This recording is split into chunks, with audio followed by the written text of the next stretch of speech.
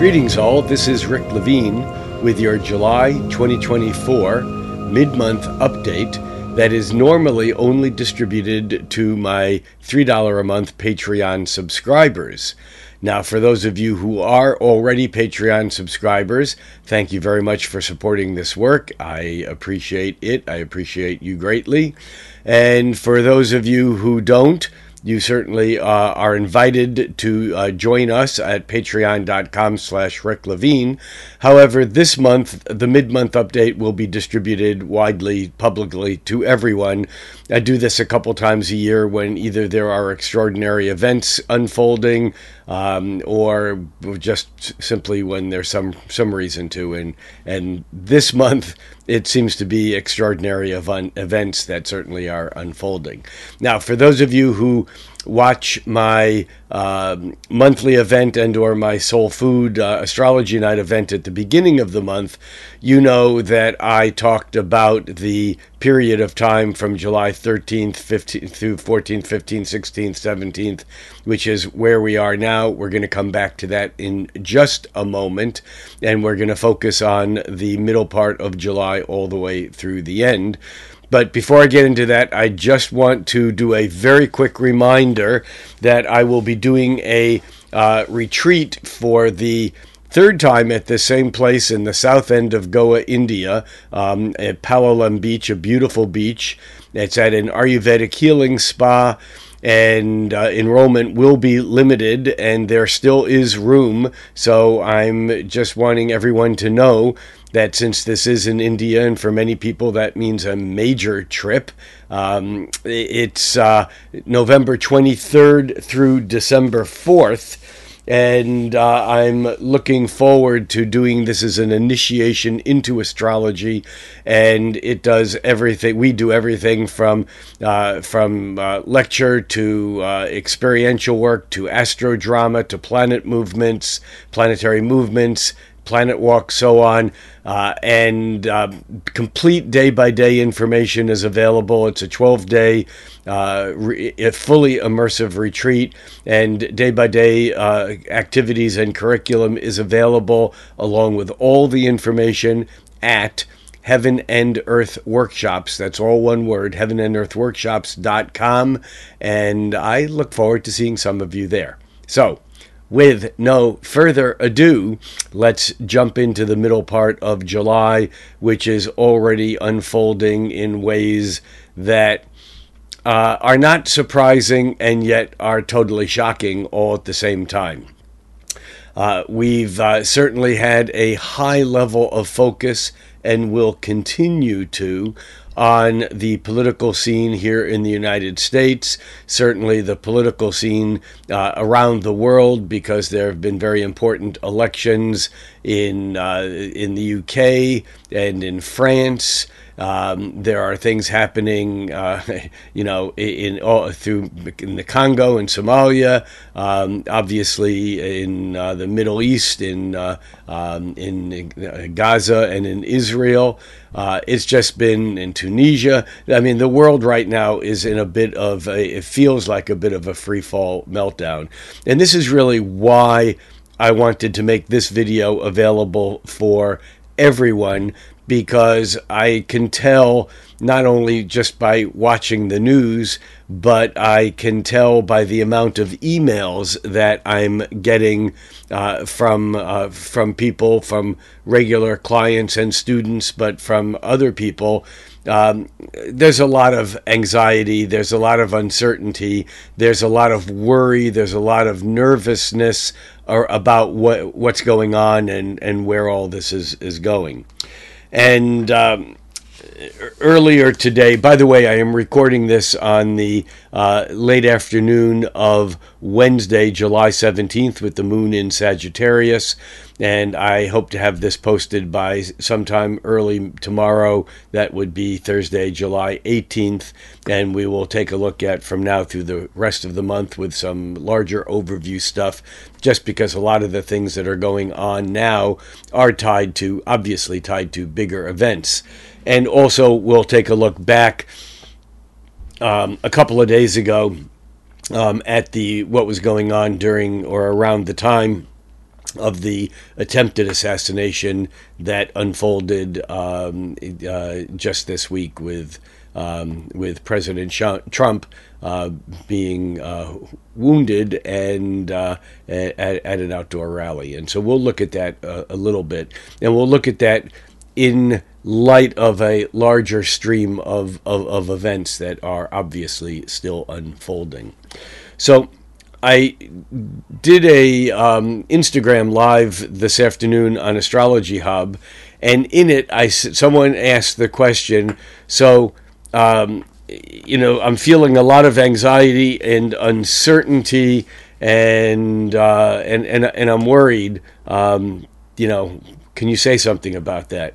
And what I said was that based upon what's going on, that if you're not feeling a bit anxious or a bit worried or concerned or have a sense of uncertainty, then you're not paying attention to what's going on because um, because there's we are at a time of great transition, and although it feels like there's a lot going on right now, from an astrological point of view, what's going on right now is really a large determinant or a piece of a se- sequence of events that will lead all the way up through the beginning of next year and then on through 2025, 2026.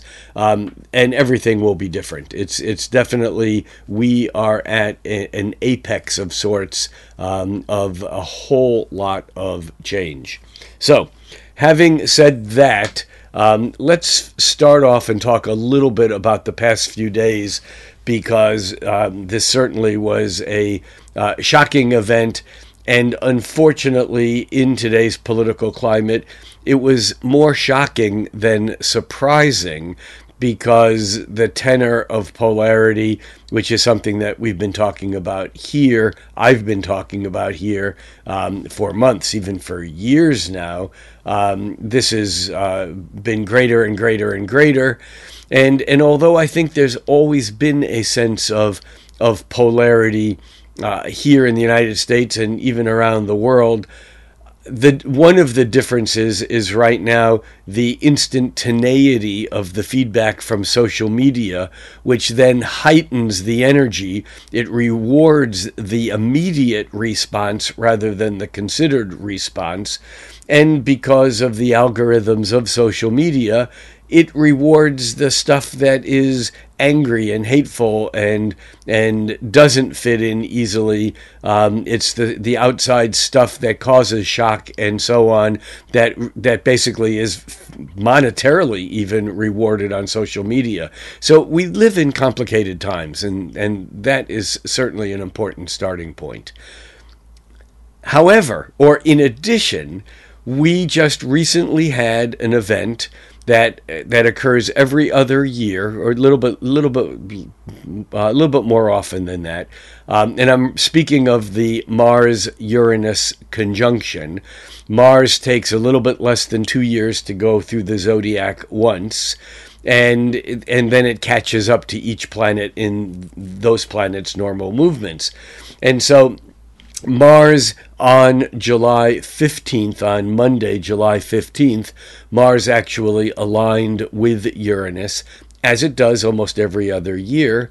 And it often is correspondent to events that unfold within a few days, usually from my tracking, a few days prior to the actual perfection of the conjunction. And I'll say more about that in a moment as to why. Um, but but although there are times when not a lot happens, there are other times when things do happen, and there certainly is a um, consistency to the energy that is expressed. And in order to look at the energy or to understand the energy that's expressed, very simply, we need to look at the two planets involved. You know, Mars is the planet of conflict, it's the god of war. Mars is about creating and maintaining boundaries, whether they're defensive boundaries that I'm maintaining so that my space is not encroached by you or others, or whether it's boundaries that I make by forcing my energy into your space and aggressing or asserting. It's the difference between offensive and defensive boundaries. Um, but in both cases, Mars is the planet that actually does the conflict, does the fighting at the edge of creating or maintaining these boundaries. Uranus, on the other hand, is uh, the planet that was the first planet that was discovered out past the or, um, orbit of Saturn. And we moderners sometimes just can't quite understand what it must have been like to live when Uranus was discovered in the late 1700s. Incidentally, around the same period of time that Pluto moved into Aquarius the um, the time previous to what it's doing now, and around the time of um, the American Revolution and the American Constitution and setting up the American judicial system and the Declaration of Independence, and also even the the French Revolution. Um, it was a pretty amazing time here on planet Earth, um, at least from our perspective here in the Western world. Now Mars lines up with Uranus every other year.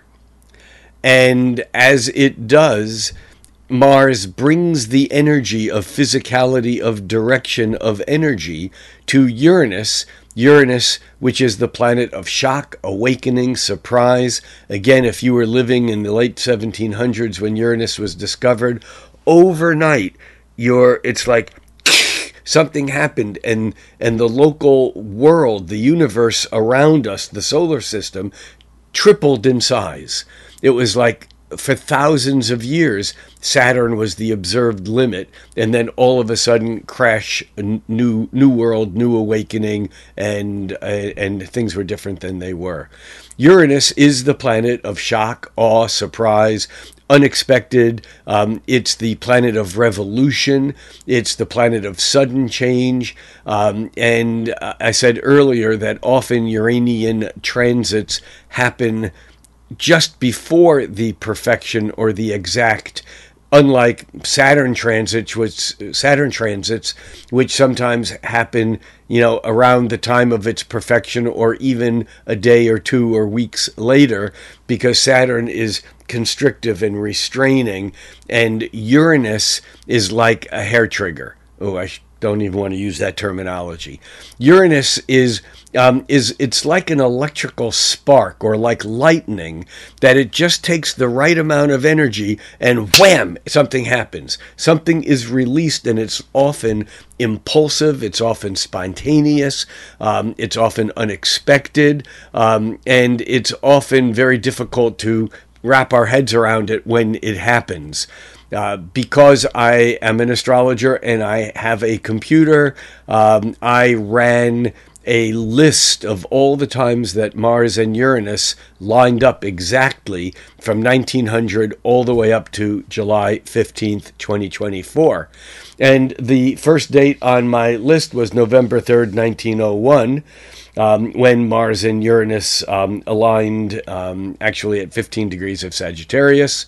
Uh, and so I went to my computer and I said, What happened on November 3rd, 1901? Uh, and I was quickly informed that one day prior, again the day before, on November 2nd, 1901, one day prior to the exact perfected Mars Uranus conjunction, the, um, uh, there was an assassination of President William McKinley that occurred in Buffalo, and, um, and it was on that day, or it was 20, you know, like I said, it was 24 hours uh, before.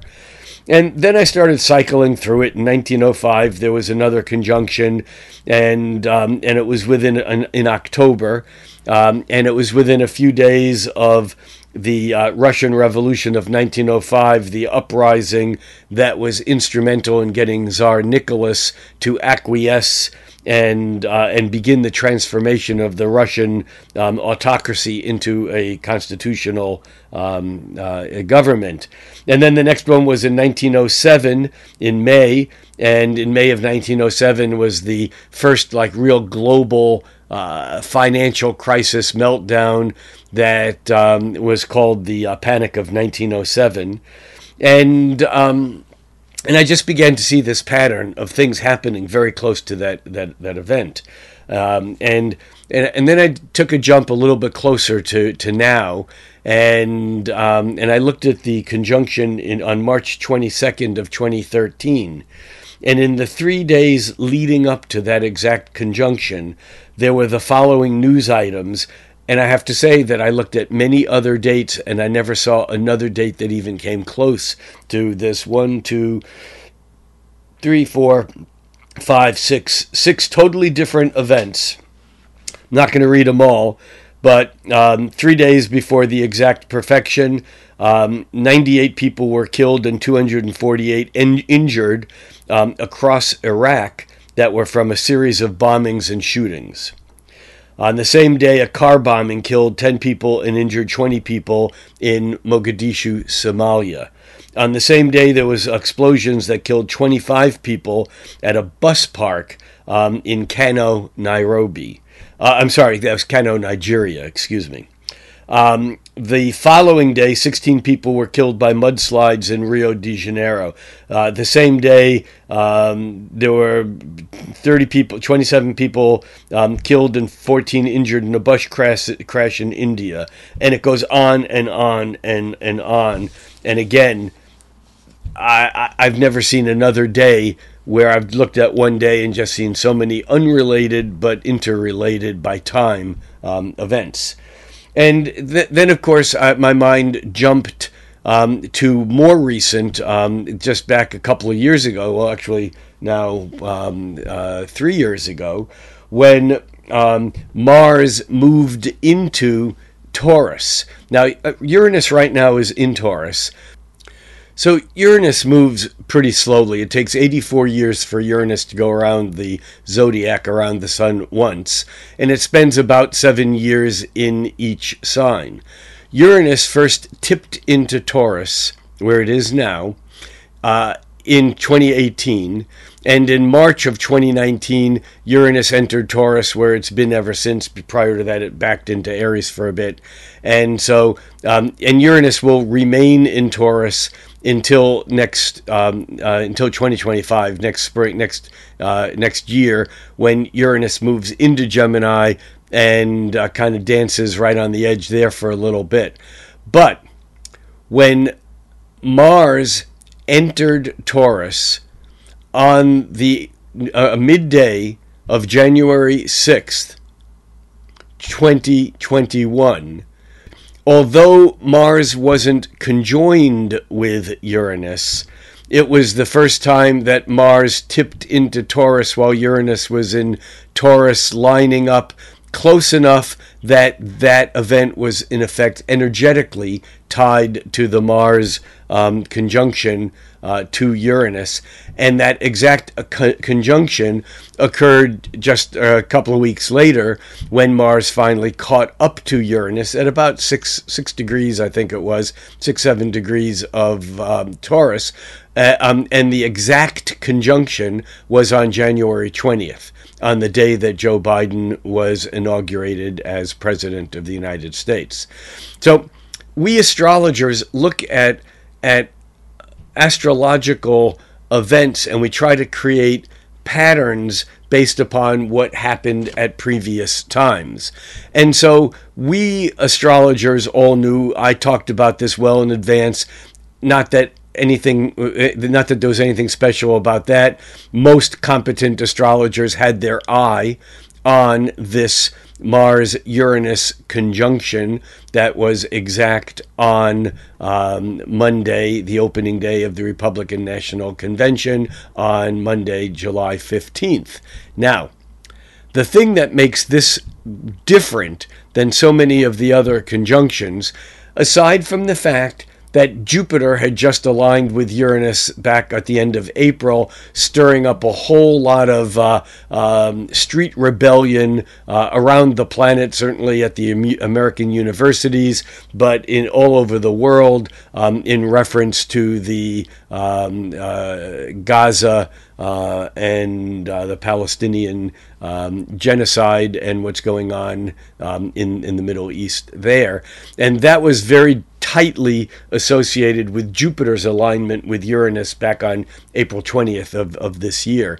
And so now, as Mars sweeps by um, Uranus, or as it did on Monday, there's even a third thing that becomes important in all of this, and that is that that conjunction was at um, about 26 and a half degrees of Taurus. And at 26 and a half degrees of Taurus, there is a fixed star, a star in the sky called Algol.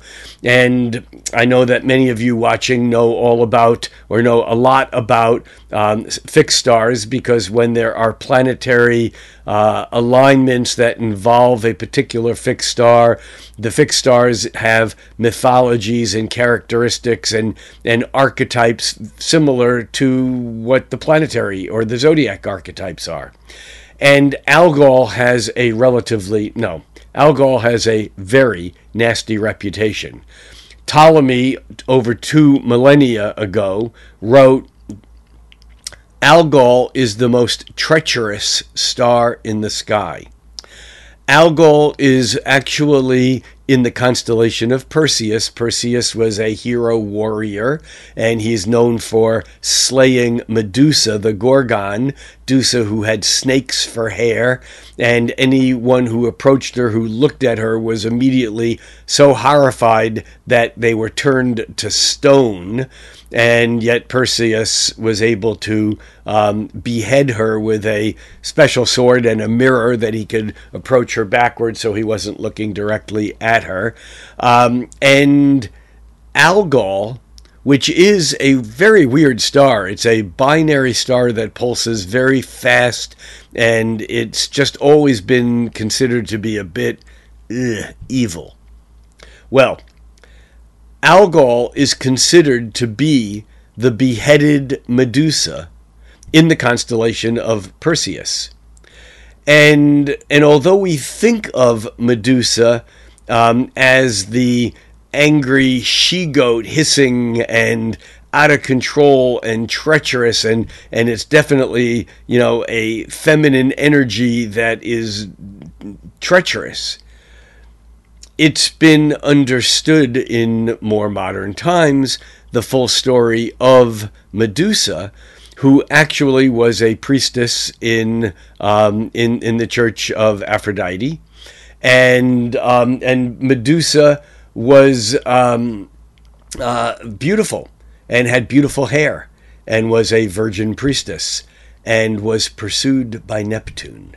And one day, Neptune's coming on to uh, Medusa quite intensely, and Medusa runs into the temple looking for um, assistance from uh, Aphrodite, or uh, for the Greek, that's Minerva, and um, and and she's not there, and Neptune rapes her, and Aphrodite comes back uh, and uh, sees what's happened and immediately is outraged at her temple being desecrated and punishes um, uh, Medusa uh, and uh, actually turned her hair, her beautiful hair, into snakes.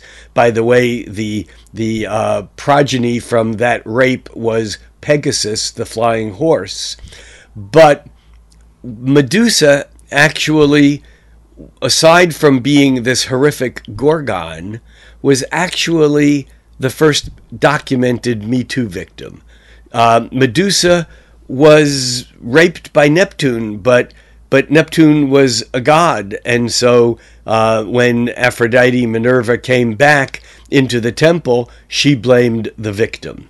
Now, what does all this have to do with uh, this recent conjunction of Mars and, and Uranus? Well, it was lined up with this star, Algol, which is a difficult and complicated star because, on one hand, it is the star of decapitation. Um, it's the star of um, of losing one's head. It's the star of um, uh, uh of uh, treachery, of evil, and it turns out that this um, star actually is at the same place where Nancy Pelosi's Mars is in her birth chart. And it's also the same place it falls directly on um, Donald Trump's midheaven. That's the point at which we stand up in the outer world, our career. And that same point is also exactly opposed, opposite Donald Trump's Scorpio. I'm sorry, it's also opposed Joe Biden's Scorpio sun. So Joe Biden's Scorpio sun is opposed by Algol at 26 and a half degrees of um, um, of Taurus. So it's very um, intriguing that this uh, shot, this assassination attempt. And I know there's a lot of stories that are going around about a lot of potential possibilities of was it this, was it this. There's so many questions of why was this person doing it? Had they? Uh, I'm not delving into any of those. Feel free to do that on your own. Um, in fact, I think we should all be digging into everything these days. But it was a release of pent up tension Mars, an act of violence, Uranus, something sudden, conjunct Algol, it was impacted Donald Trump's head. And had it been um, a little bit of a different scenario, um, it would have basically been like a decapitation. Um, and I just want to say here that um, I don't care. Uh, well, I do care. but regardless of whether you are uh, um, uh, a never Trumper, Trumper, a thisser or thater, or whatever you are, the fact of the matter is that there is no place in American culture for um, for this type of behavior, and I would say the same regardless of anyone who was put in harm's way or who was um, assassinated or attempted uh, uh, an attempted assassination target.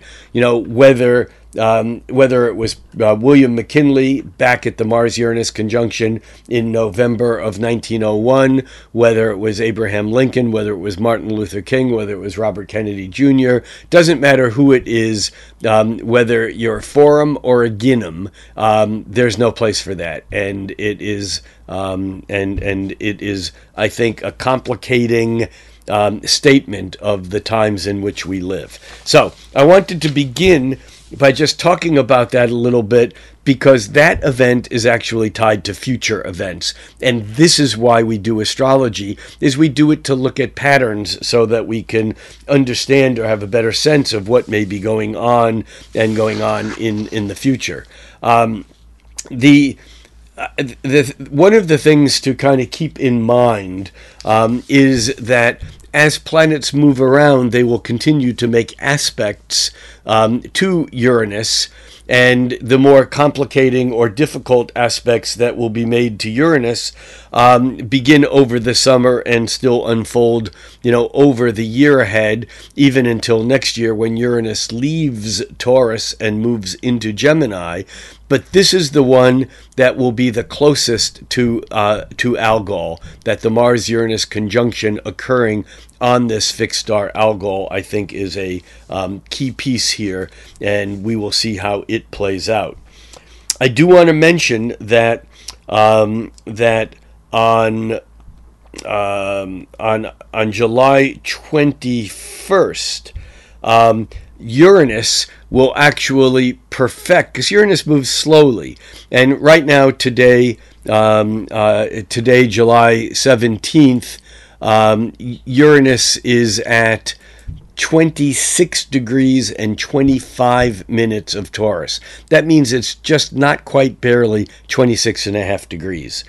Well, Algol right now is at about uh, 26 degrees and 34 minutes because although the fixed stars don't move, they change in the zodiac because of the wobble of the Earth very, very slowly at the rate of about one whole degree every 72 years. This is the precession of the equinox that we're not going down that rabbit hole further today, but that's what creates the changing of the ages, the changing of the age from the age of Pisces into the age of Aquarius. However, on July 21st, Uranus will reach 26 degrees of Taurus and 34 minutes. And that will be the precise exact alignment of Uranus and Algol, even though the Mars Uranus conjunction occurred within about a sixth of a degree away from it being exact, which in astrology is plenty close enough. But I'm just making a point here that by um, by the end of next week, by July 21st, we may have another round of something on this that may have something to do with the investigation, something um, something to do with something in the presidency. Um, but um, we will look at that uh, July 21st date a little bit more because it is it is an important one also, as we move on um, later this year, I'm just going to throw out a couple of these dates. We will come back to them over the weeks and months ahead. But on October 13th, Venus opposes Uranus. And that's a pretty tricky day because there's a lot of other stuff going on, um, including a Sun square Mars. Um, I, I, don't want to drill down on that any more than just mentioning October 13th. And again, when I mention a date like this, it's always plus or minus a day or two. It's just, you know, it's not exact. These the, the conjunctions or the aspects are exact, but the energy gets close enough, and if something's ripe, pop, it happens. Uh, like this particular assassination attempt that occurred two days prior to the exact um, uh, the exact conjunction. On October 30th, Mercury moves in opposite Uranus. And then on November 15th, there's a full moon opposite Uranus, um, which means uh, uh that, um, and actually, the full moon is, is conjuncting Uranus and the sun is opposite Uranus. In other words, the Uranus at that time will be at about 27 or 28 degrees of Taurus.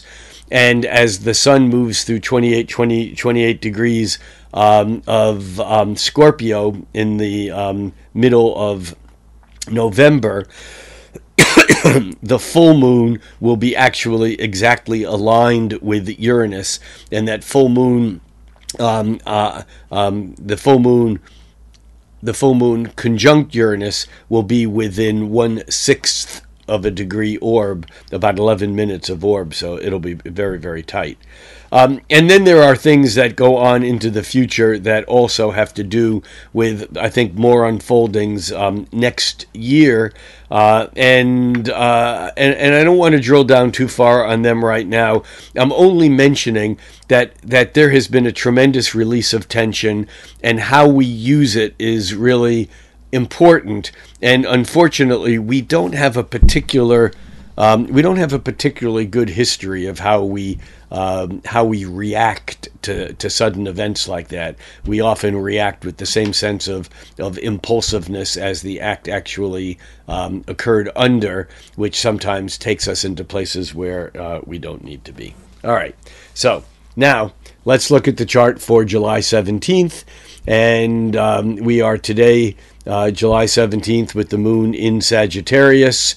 And um, I'm just going to take us through the rest of the month, uh, day by day, and we will kind of see where we go with all of this. Um, what's w- one of the interesting things to me is that July 15th astrologically was such a big day with the Mars conjuncting Uranus. Um, let me just put that chart up here so we can start with that. So let's look at the chart for uh, July 15th, and we can see that the moon is moving through Scorpio, actually uh, moving toward its opposition with Uranus and Mars midday. And we can see that the exact Mars Uranus conjunction here is at in the 26, 26 degrees of, of Taurus. Um, but what I want to point out here also is that on the same day, on the 15th, we also have the Sun making a square with Chiron. And that Sun square with Chiron is an interesting square because in some ways, um, in some ways, the Sun in Cancer, the caring, the nurturing, um, is wanting to wanting to fix, wanting to heal, um, because it's squaring Chiron, because it's having memories or it's reminiscent um, of some old either emotional wound or even a physical wound. And yet it's almost like the square makes it that the more we try to fix it, the worse it gets. In other words, we it's like we can voice our forgiveness or our empathy and yet when push comes to shove we're just stimulating um, the energy even more. We're opening the wound wider rather than closing it. Um, and so, um, you know, we can look here during this period of time as people saying they're looking for unity, for example, but in fact may still be um, very uh, definitely uh, uh, talking about, you know, um, stirring up the pot or anger or, or, or hate.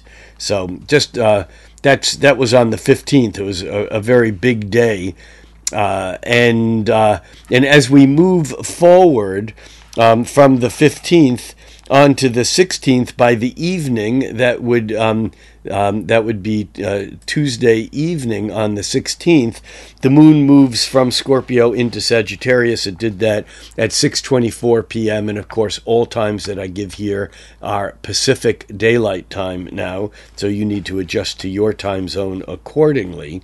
But in the evening on the 16th the moon moves into um, uh, moved, because it's in the past, um, moved into Sagittarius, where it still is, but once it does that, it's a relatively quiet energy. I mean, the moon um, does oppose uh, um, uh, Jupiter, but by midday on the uh, 17th, that's today. The moon is just approaching that opposition to Jupiter. Things may seem a little better, or maybe we're breathing a little deeper.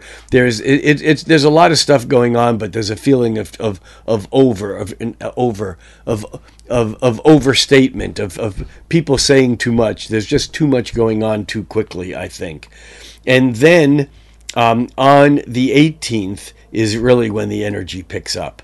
On the 18th, we have a couple of very important things. First of all, the moon moving through Sagittarius makes a temporary grand fire trine, trining Chiron in Aries and trining Mercury in Leo. And this basically it, it sets up a, a, a scenario where we can actually speak, speak because it's Mercury we're talking about communication because Mercury is part of this grand trine. Now, um, today on July 18th, and whenever I say today, I'm referring to the chart that we're looking at in front of us, Mercury is making an exact trine to Chiron. It's perfecting that trine to Chiron, meaning that our words actually can be soothing. Our cat they can be healing.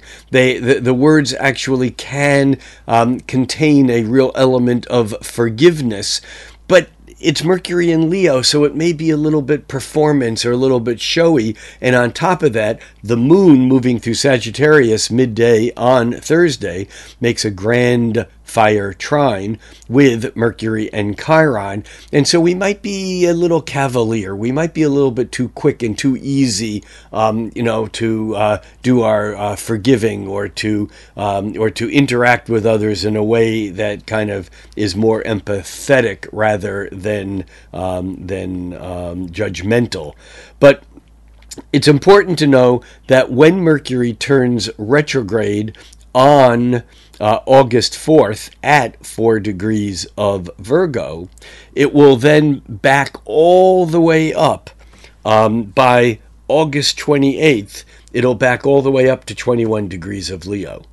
So that means that right now, Mercury is moving through an area that it will move through forward and then move through retrograde and then it'll move through forward or direct a third and final time um, on through the end of August and on through September. And so we're in this little kind of tidal swirl of communication here. Even though things are going forward, Mercury is moving direct. They're not moving direct very quickly anymore. And there are things that are happening now that, even though they feel like they're final, they may actually be part of a longer course of events that takes time to unfold even through um, August and on into September. So that's the first thing about the 18th. The next thing about the 18th that is significant is that the Sun at 26 degrees of Cancer is making a sextile with Uranus at 26 degrees of Taurus. And the sun moves about a degree a day, so we might be feeling this on the 17th, 18th, and even into the 19th. But this is different than the Mars conjoining um, Uranus because that was a sudden release of fire energy of of the Mars of the assertion and the direction. Now Mars is still close to Uranus; it's only a couple of degrees away, and what that means is that this that is that um, is that uh, the Sun makes a sextile today um, with Uranus, but the Sun will also make a sextile with Mars. But because the Sun and Mars are moving at such a similar um, rate now, right now, they're going to stay within kind of close, you know, close orb um, for a couple of weeks. And in fact, the Sun doesn't reach the exact sextile to Mars until July 25th. And so we have this whole period of time where there's still going to be this energy that's being expressed. We're living in a heightened state of, of, of boundaries being defined, and yet with sextiles, there may be more opportunity um, for for working with the energy than just simply saying things and having things be disruptive. Um, I like this sun that is sextiling Uranus and Mars because theoretically it can help move some of that energy. Um, it can help move some of that energy along. Now, the 18th is a powerhouse because also on the 18th we have the Sun also not just making that sextile with Uranus, but it's also making a half square with Jupiter. And for those of you who know my work, you know that I believe that from observation, um, that half squares are very, very much as potent as squares. Um, they're more narrow in their operation, they're more precise sometimes, but they are motivating. And motivation is actually a good thing if you're doing something good. but you can be motivated to do something that's not healthy or or not a good a good deed.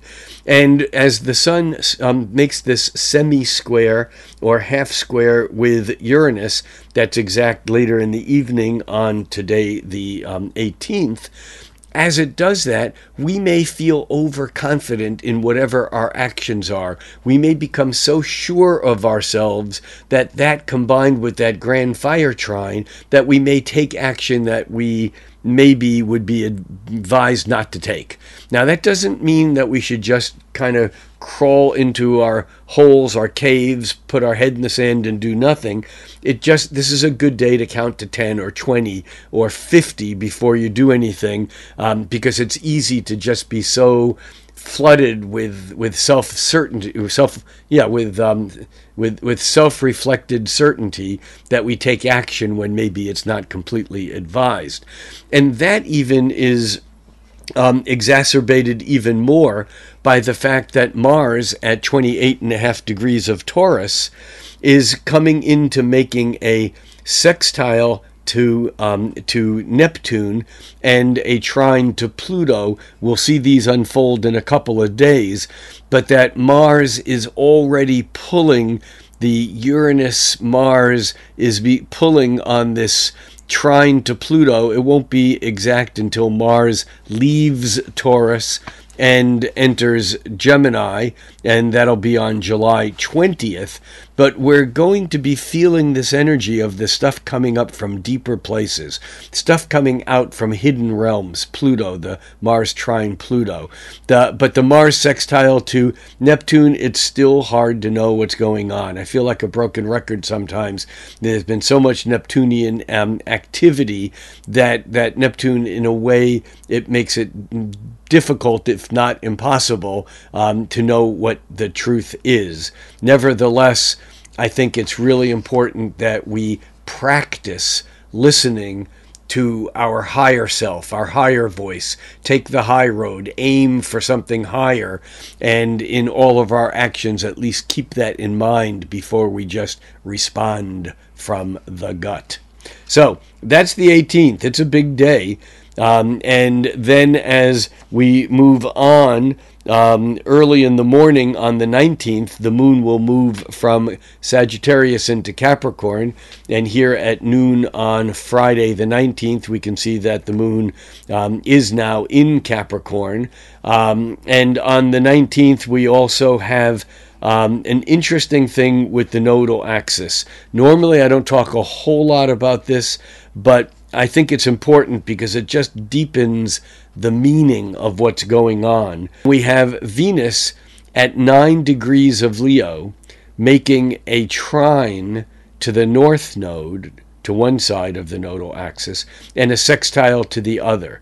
I think this is a chance for our values to kind of resonate, to come out more.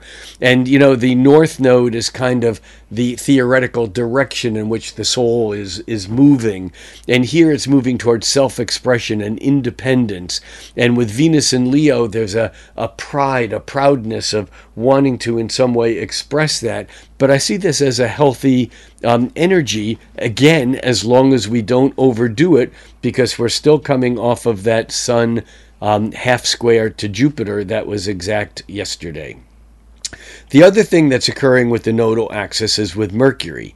And with Mercury, it's a little bit harder to see because it's not a zodiacal aspect, it's not a regular traditional Ptolemaic aspect, but Mercury is a square and a half that's 90 degrees is a square, 45 is half of that, 90 and 45 is 135 degrees. And Mercury is making a square and a half to the north node, which means it's making a half square to the south node. So as Venus is stirring up the sweet energy of, of, of uh, um, being proud and holding on to our values and knowing what we want and what we like and kind of working on that trajectory, the words aren't quite supporting it. The mental process the mercurial energy at a half square to the south node and a square and a half to the north node is kind of being a bit disruptive. We may we may get messages today that we don't want to hear. We may say something that people misinterpret or maybe they interpret it correctly and they don't want to hear it. But either way, it does complicate the energy as we move toward the weekend on Saturday, um, we have uh, the moon still moving through Capricorn. And on Saturday, the 20th, something very important happens, but it doesn't happen until early afternoon. Actually, it happens at 1:43 p.m. Pacific time, and that is that if we look at the chart here, we can see that Mars is at 29 degrees um, of Leo and about 57 minutes.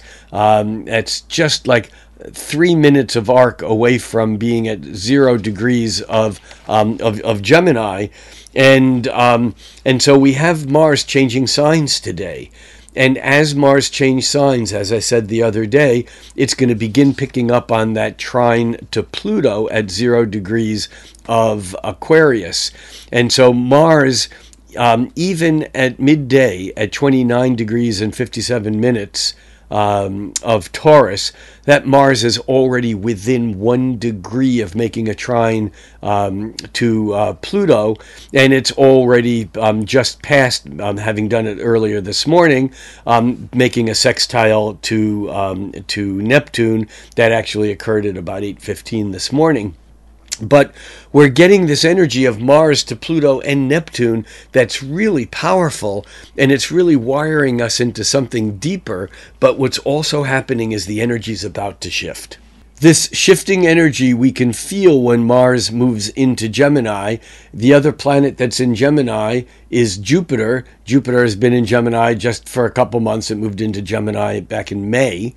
Um, and as Mars and Jupiter are in the same sign, Mars is moving faster than Jupiter and it will catch up to Jupiter. And remember, Mars is about boundaries, Mars is about forcing ourselves into new territory or defending what we believe that we need to do to maintain our.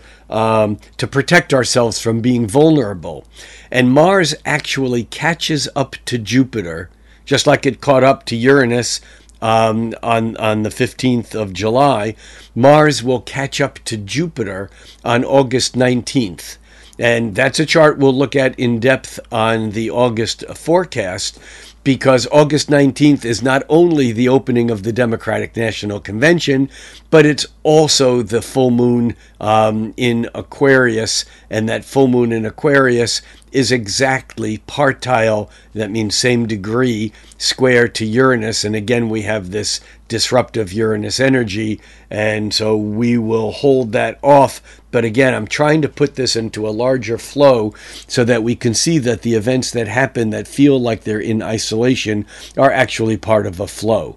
So here, as we look at the 20th, we can see this sometimes what's called what's sometimes called a minor grand trine, um, which is really a trine with a planet at the midpoint or the sextiling both sides that would be neptune. And what that energy does is it really creates a flow and deepens the power and the and and the uh, passion and this and the determination um, this is a high level of determination um, of that Mars in, at the very end of Taurus, but it's like it's it's a, called a critical degree or an anaretic degree. It's it, although it's at the last degree, it's like when it moves into Gemini, everything changes, and so we feel sometimes like we got to do something right now, or we won't get the chance to do it. On the twenty first we can see here, actually, even on the 20th, we can see that the moon is at late degrees of, of um, Capricorn. And by midday on the 21st, the moon is at four degrees of Aquarius. What that means is at 3:17 a.m. on the morning, that's Pacific Daylight Time, on the morning of Sunday, July 21st, we have a full moon that's at 29 degrees and 9 minutes of Capricorn. That's just before the moon changes signs into um, into Aquarius. The moon um, ch- changes signs into Aquarius at 4:42 a.m., but it's full at 3:17 a.m. And this full moon is another important transition period because, in some ways, it almost represents the culmination of something. That something may be related to what we were doing two weeks ago um, back at the um, back at the new moon, because that new moon in Cancer, in some ways, set the tone that was back on July 5th. And so we may look in our calendars and see what was going on then and how things may be coming to fruition. But this is a huge uh, full moon because this full moon is actually also conjunct uh, uh, Pluto because the moon um, the moon is full at 29 and a half degrees, just about 20, 29 degrees and, and nine minutes, a little bit over 29 degrees of Capricorn. And, um, and just a, a degree or two later is Pluto. So, like four hours or so after the new, after the full moon, the moon is actually lining up with Pluto. And before it does that, it's going to make a sextile with um, with Neptune, as it's at 29 degrees just after the full moon, 29 degrees of Pisces. And it's also going to make a trine with Uranus a few hours prior to the full moon. And then it's going to make a trine with Mars. Um, you know, also just after the full moon. So this is an incredible powerhouse and on top of that, at the same time as this full moon is unfolding, we also have Venus making a sextile with Jupiter. and that Venus sextile Jupiter can be rather sweet and I think it's an important thing to hold on to, but it also can sugarcoat something that isn't so sweet. So we need to pay attention to that. But Venus being the planet, you know, of pleasure, and this is the show. This is the this is the what looks good. Venus in Leo. Um, it's the performance. Um, but it's sextile to Jupiter in Gemini says there's an opportunity here. So what are we going to perform? What are we going to make look good? And yet, the same day, on the 21st, still, we have Mercury making a square with Uranus. Now, I mentioned this earlier because we have Mercury making a square with Uranus on July 21st, and then we had a whole sequence of, of, of other squares. What did I do with that piece of paper? There it is. We have, uh, um, yeah, Mercury making the square um, on July 21st, while Uranus is exactly, exactly conjoined Algol. So Mercury will be square Algol. We can expect something here that I think reflects back to the assassination doesn't necessarily mean, in fact, it doesn't mean at all another assassination attempt. It means more likely some information that comes out in reference to it, or there's another whole scenario that's played out. But these are about words, these are about information. Mercury squaring Uranus while Mercury squares Algol. This, I think, is a really big day and a big full moon. Um, and of course, because as I said earlier, the full moon is coming around and it is making a sextile to Neptune um, just just prior to the um, um, actually just just just right after the full moon. I mean, like minutes after the full moon.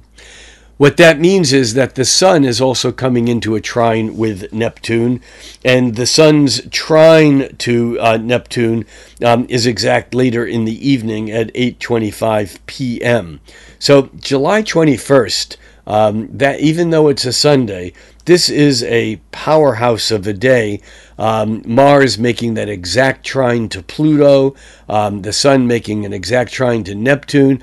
I think in some ways here, this day is a little bit of foreshadowing of what it is that's coming around the bend. And I don't know exactly what that means now, um, but there's this whole sequence of, of sextiles from the moon Pluto at late Capricorn and, and Aquarius um, to Neptune, uh, around to Uranus Mars, and back around to the Sun. And in some ways, this same sequence of events is going to be with us on and off for the next couple of years as these slower moving planets, Pluto, Neptune, and Uranus, go in and out of those trines and sextiles. So this is a big day, big day, big important day. Uh, and, and we notice, remember, the moon was was full at 29 degrees of Capricorn, which means the sun on the 21st is at 29 degrees of Cancer, which means that by noon on the 22nd, the sun is in Leo. Now, Leo is a fixed sign, it's the second sign of the summer months, and in many ways, it represents the fixed summer sun that is relentless. It, it's when the flowers are putting on their show. Um, the Leo is the midsummer. It's it, uh, Cancer is the beginning of summer, the first day of summer being the summer solstice. But now we're in the heat of the summer. Um, the sun moving into Leo, and as it moves into Leo, it's going to make its exact opposition with Pluto. It doesn't it, it, it does that on the 22nd, but it doesn't do it until evening. 10:37 p.m. is when it's exact. But this is a very important opposition because this is bringing out the deep power struggles that are going on behind the surface all the time, whether we know it or not. Yet it's bringing some of these power struggles right out into the open, and it's doing it in a way that might have a bit too much anger or aggression tied to it. Why do I say that? Because Mars, if you look at this Sun opposed Pluto, Mars is actually making that trine still to Pluto, just slightly after it. But the sun is also making that sextile to Mars. It's not exact yet for a couple of days, but that's so tight and so close. Um, the sun trine Mars or the sun sextile Mars is not exact for a couple of days on the 24th. But what that means is that Mars is at that point of Thales, which is the point when there's an opposition. It's the point that's trine one side of the opposition, that would be to Pluto, and sextile the other point in the opposition, the other end of the opposition, that would be the sun.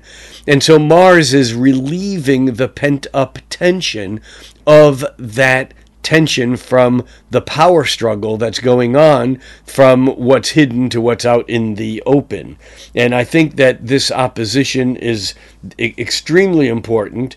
Um, like I said, it's exact at 1037 p.m. on um, on today, Monday, um, the 22nd, um, and and the moon still being in Aquarius. Um, you know, and and Pluto and Aquarius, there's that sense of the larger collective, the what's going on in the outer world, the global, the community, outside of our individual selves. As we move this to the 23rd, on the 23rd, um, we can see, first of all, that the moon moves into Pisces. The moon actually enters Pisces um, early in the morning at 6:22 a.m. on Tuesday, the 23rd. Um, and this can soften the energy a bit. It can confuse us a bit. As the moon moves into Pisces, what it's going to do um, uh, on late on Monday is it'll make a square with Uranus and Taurus, and then as it moves into Pisces um, in the morning of the 23rd, um, by midday it's going to be making a square to Mars um, in um, in in Gemini, and that square to Mars in Gemini is it's a moon square, so it comes and goes pretty quickly. It's passing. Um, it's not it's not a very long held um, energy, but but it is significant because it can mean an emotional flare up. Because again, Mars can get hot under the collar. That Mars is still within range of being uh, trine to um, to Pluto and sextile to the Sun, and so I think it's important on the uh, 23rd um, to note that. That, that that moon in Pisces can stir up a little bit of energy, and on top of that, Venus moving through mid Leo is actually making a square and a half with Neptune, and that makes it difficult to know what's going on. Oh, it's it can be beautiful. This can be a beautiful illusion. This can be falling in love with a person, with an idea, with an event, of a notion of doing something, with a goal, with a with with with, with a vision of what's to come. But it's it's Venus and Neptune, and so we have to remember that there's always a piece of of dream, of wish fulfillment, of illusion tied up to what we're imagining um, today on the 23rd. The 24th astrologically is a bit of a quiet day. Um, the moon, however, is coming through mid degrees of Pisces. It'll catch up to um, Saturn um, midday, which can be a bit of a depressor, a bit of a restraint, a bit of a reality check, a bit of like, oh shoot, we got to do this, I have to do that, whatever. Um, it's it's not easy, but again, it's not long lasting, and often these moon transits to Saturn are simply reminders for us to be responsible, to take care of business, uh, to fulfill our promises, um, things things things of that sort. We also have Mercury coming into an intriguing position because by um, the following morning, by Thursday the 25th, by Thursday morning, Mercury is making a quincunx, that's five twelfths of a circle, to Pluto on one side and to um, uh, to Neptune on the other side. And this actually is creating um, what's what's called a, a yod. This is actually unfolding today and tomorrow because Mercury will hit the quincunx to Neptune on the 25th, and it won't it won't reach the exact quincunx to Pluto um, until um, midday on the 26th. but this is creating what's called a yod or finger of God, and it has to do with the ongoing sextile between um, Neptune and Pluto and how their halfway point between the two of them, let's just call that zero degrees Aries. It's not quite Neptune's retrograding away from that, but it's but it's within a quarter of a degree. So let's say zero degrees of Aries and zero degrees of Aquarius. Um, that halfway point is um, is zero degrees of Pisces, and we go opposite that, and we have Mercury at zero degrees of Virgo. Okay, it's at 29 degrees and 53 minutes, but over the next day, it's going to be moving into that exact point, and it's going to be making this uh, th- this aspect called or an aspect uh, configuration uh, called a finger of God or a yod, where you have the combined elements of the imagination and the creativity, the spirituality of Neptune, and the metamorphic changes and the transformational intensity of deconstructing and reconstructing of Pluto somehow being worked out and talked about out here on the outer realms. It's an interesting little configuration.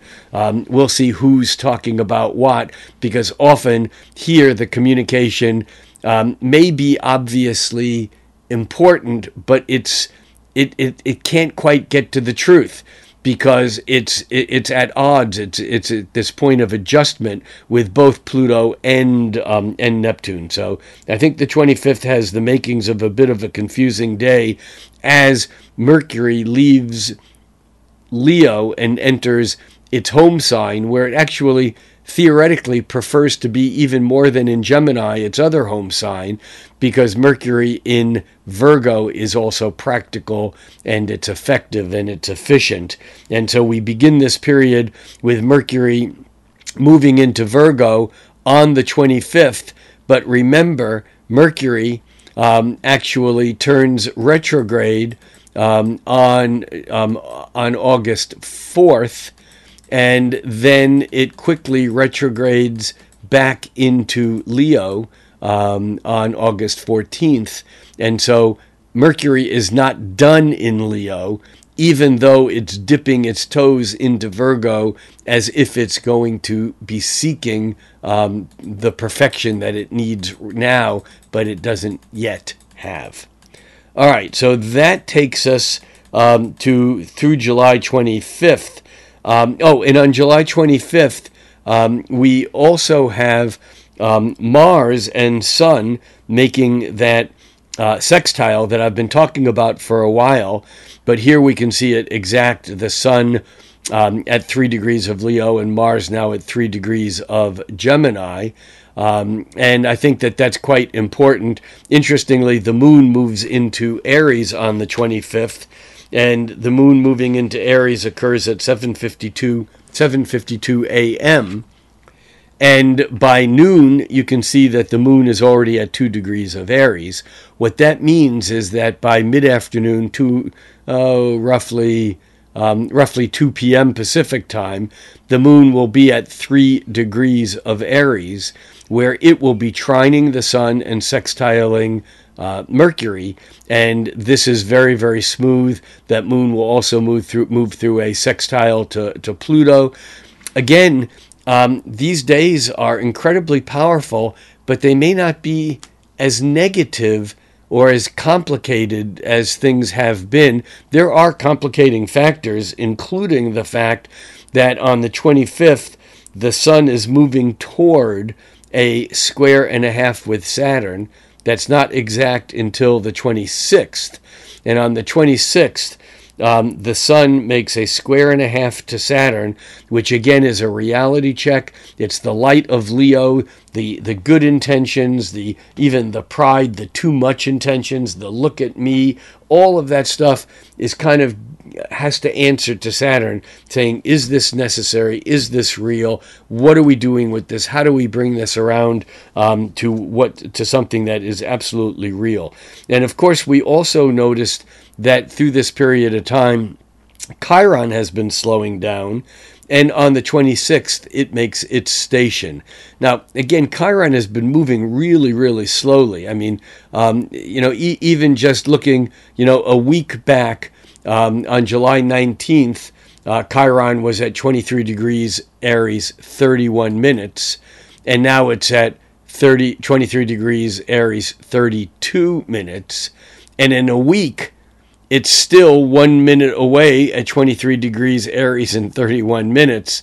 And so, although Chiron is turning uh, retrograde, it's actually holding its position.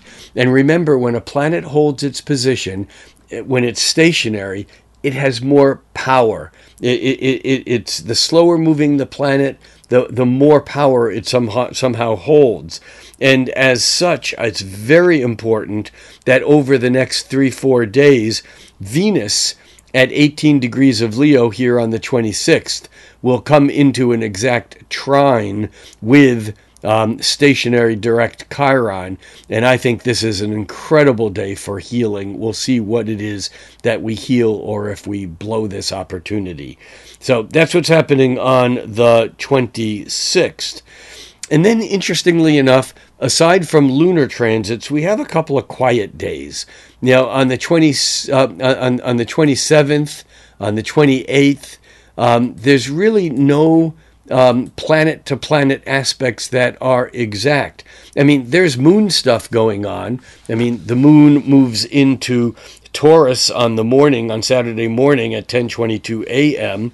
Um, the moon moves into Taurus, and as it does that, it's uh, gonna square Pluto, and that can be quite disruptive, especially because you remember Pluto has already been um, under siege by that quincunx from Mercury, so the moon will square Pluto and make a trine to Mercury, and this is one of those good news, bad news things, but it only lasts for an hour or two or three. I don't see a whole lot happening here um, on the 27th, on the 28th. There's still not a lot going on. Um, that is on, on the 27th, the moon moves into Taurus. On the 28th, the moon is moving through Taurus. Um, by Monday, um, the 29th, the moon midday is actually still at the very end of Taurus, but lined up with Uranus. There's a bit more action here. I think this week is going to be a real action week um, that gets us through the end of July and into um, and and into um, uh, August. Um, but I also want to say another couple of things about these days of the 26th, 27th, 28th, really 20, 26th, 27th, 28th, where there's not a lot of pl- not a lot of planetary transits. And what I want to say is that sometimes when the sky is quiet, that gives us time to kind of follow through on all those things that we hadn't dealt with. Whatever transits happened last week or even last month, sometimes when there's a bit of ah, it's it's like we work hard all week and then on Saturday we finally have a day to take off and we have a splitting headache or we get sick because it's a down day and the body knows that it's a down day and so it process it didn't have time to to get sick or to have a headache while things were going on. And i think often that happens astrologically. So let's just pay attention to that over this weekend of um, of of the 27th and 28th and by the 29th i think things are cooking again and I mentioned earlier also, as we talked about the station of Chiron, that Venus would be coming into an exact trine.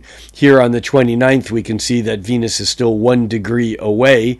But if I move this to July 30th, there we can see that Venus is making exact 23 degrees to 23 degrees um, from Leo to um, to Aries, and that Venus trine Chiron um, can be really magical. It, it can mean that that we have a heightened sense of what can help someone, and we can do it. Um, it's it, it's like Venus Chiron harmonizing with one another um, gives us the ability um, to have empathy. It gives us the ability to, even if we disagree with someone, even if someone we don't like is hurting, we somehow can reach out and feel what that feels like. We don't have to believe what they believe. We don't have to. Um, we don't have to buy their perspective, but simply by acknowledging, by by having empathy, by having um, by caring about someone, this gives us the ability to heal, and that's so desperately needed at this point in time, regardless of where we go individually, collectively, politically, globally. The the um, disassociation that we humans have with other humans right now is severe. And I think this Venus trine Chiron um, gives us an ability to help others realize their full potential.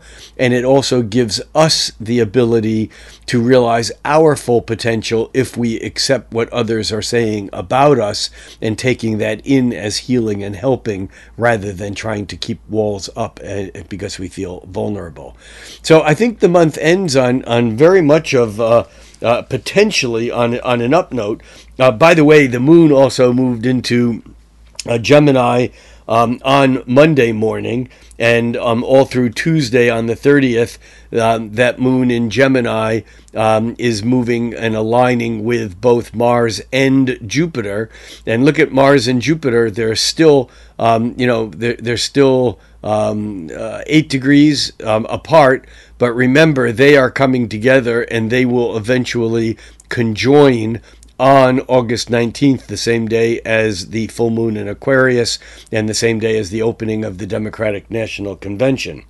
Um, as we move to the 31st, again, we still have that Venus trine in Chiron in operation, but the, once again, the end of the month, from a planetary standpoint, is relatively calm.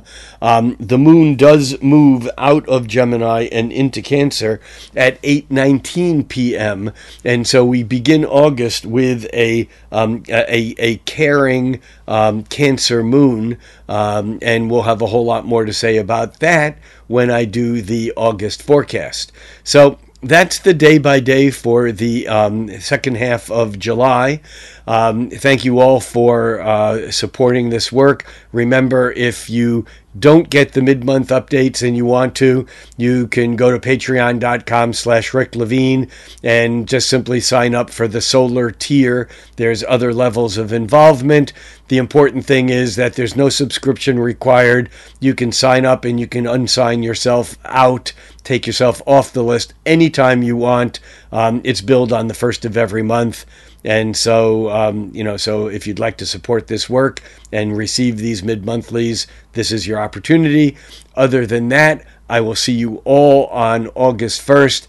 And this summer continues to be a astrological rock and roll crazy um, tilt the world ride and we are on it we will make it through it um, and it's really important to make sure that we don't just shut out everything that's going on and become ostriches burying our heads in the sand. Do they really do that?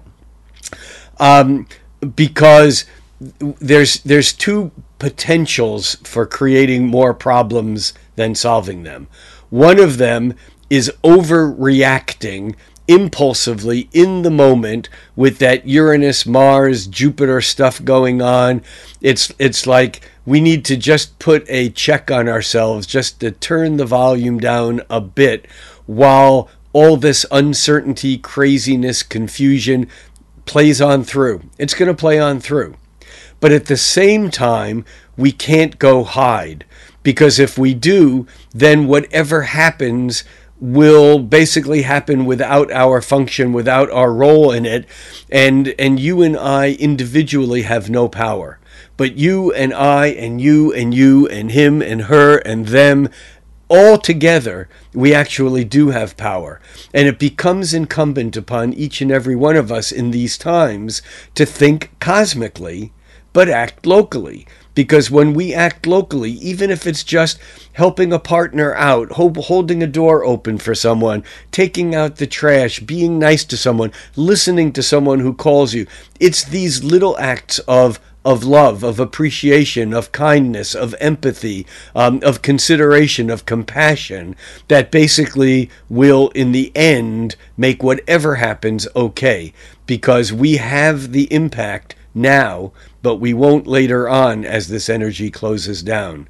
So there you go. Be safe out there. Think cosmically, act locally. See you on August 1st. I'm Rick Levine, and see you soon.